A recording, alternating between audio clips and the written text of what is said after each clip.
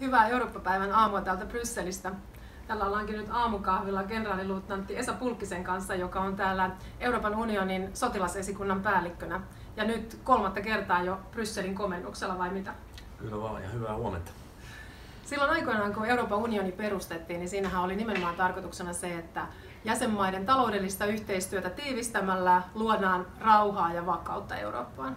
Ja itse asiassa tuossa viime vuosien aikana talouskriisi johti siihen, että hyvin paljon keskityttiin taloudellisiin kysymyksiin, mutta nyt viime vuosina turvallisuusnäkökohdat on taas noussut entistä enemmän esiin. Ja oikeastaan voi sanoa, että viimeisen vuoden aikana niitä on hyvin paljon käsitelty. Mikä omasta mielestäsi on johtanut siihen, että nämä turvallisuusasiat on niin vahvasti nyt Euroopan unionin agendalla myös? No, se varmaan, varmaan johtuu siitä pitkälti, että turvallisuusympäristön muutos on tuonut paljon uusia riski- ja uhkatekijöitä Euro- Euroopalle.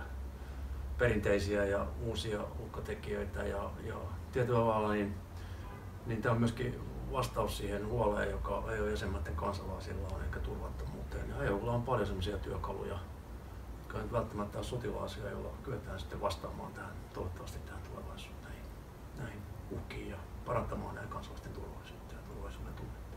Mm. Siitähän hyvin paljon keskustellaan, kun suurin osa Euroopan unionin jäsenmaista kuitenkin kuuluu sotilasliitto NATOon. Et mikä sitten Euroopan unionin rooli on tässä turvallisuustyössä, miten voidaan välttää se, että ei tule turhaa päällekkäisyyttä Naton kanssa, niin miten itse näet, että mikä se Euroopan unionin rooli on silloin, kun puhutaan turvallisuudesta? No mä luulen, että silloin kun puhutaan sotilaallisesta toiminnasta, niin vastataan tämmöistä ulkokehän puolustuksesta. Et sitä varten me ollaan näissä operaatioissa tuolla Afrikassa ja vähän kauempanakin Afrikassa nimenomaan ja pyritään vaikuttamaan niiden kriisien juurisyihin ja pyrittämään e- ehkäisemään, ennaltaehkäisemään niiden vaikutuksia Eurooppaan.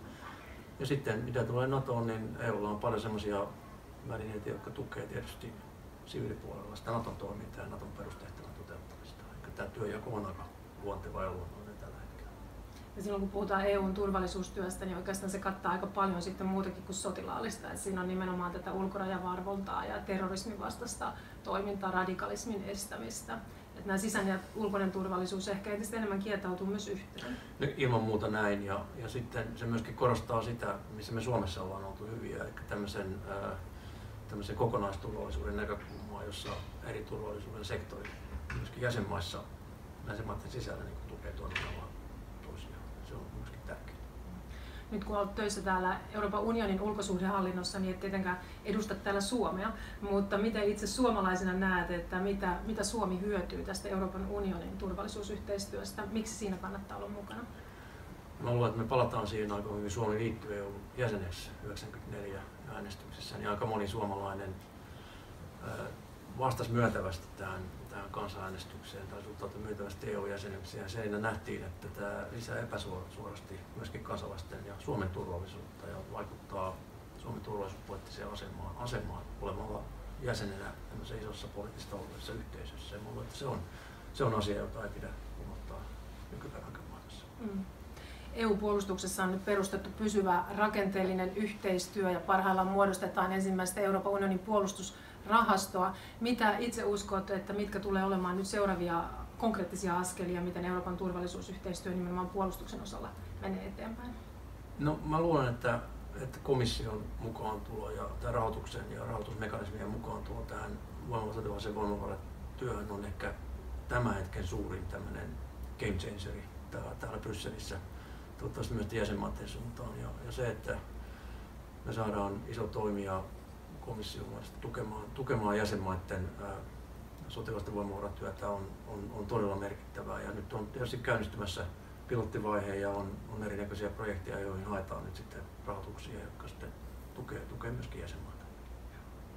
No, tänään 9. toukokuuta juhlitaan eri puolilla Eurooppaa Eurooppa-päivää. Mikä tästä päivästä tekee sellaisen, että tätä kannattaa suomalaisenkin juhlistaa? Mä luulen se, miten en avasit tämän, tämän keskustelun sillä, että kun aikanaan EU perustettiin, se perustettiin sodan jälkeiseen maailmaan, toisen, toisen maailmansodan jälkeiseen Eurooppaan takaamaan rauhaa ja vakautta ja turvallisuutta. Me ollaan saatu siitä lähtien elää poikkeuksellisen pitkää rauhan aikaa läntisessä Euroopassa, joka toivottavasti tulee säilymään pitkään. Ja se on erityinen EU-tuoma lisäarvo, joka aika usein tahtoo unohtua. Eikä se on hyvä syy näin. Kyllä se on juhlimisen arvoinen asia. Eli kaikkein historian pisin rauhan aika EU-jäsenmaiden välillä ja tästä se työ jatkuu, mutta tänään heilutetaan sitten iloisena tähtilippu.